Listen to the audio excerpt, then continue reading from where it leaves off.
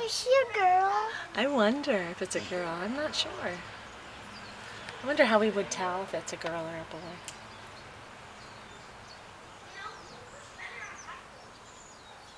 Might be the size of their tail. What? It could be the size of their tail that we would know, or The size. look at it. It's trying not to move like it's going. It's pretending it's. It's hoping we didn't see it. It.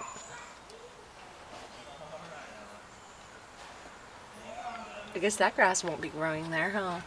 Yeah. it's eating all the grass. All the little seeds. How cute that they found it. It found it, all those seeds, huh? Mm-hmm. You know what those were from? We planted those the other day for the fairies to decorate the right in front of the fairy store. Oh yeah. Kind of like the, all the grass that's growing next to the, all the little houses on the fence. See that, like that house right in front of us? See all that grass growing next to it? That's the same kind of grass. It's from No, those same seeds.